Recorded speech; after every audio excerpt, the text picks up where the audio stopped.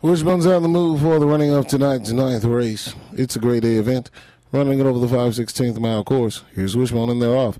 At the break, it's 432 67815. Racing at the front stretch and around the first turn, we go. It's greyhound number three, Bohemian Logjam with an early lead, followed by number seven, Cajun Humor.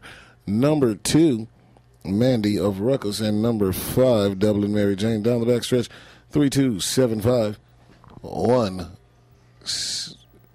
six, eight, and four. Rounding the far turn, headed up the home stretch. Two takes the lead, and the win. Two, three, five, and one. Please hold all mutuel tickets until the race has been declared official.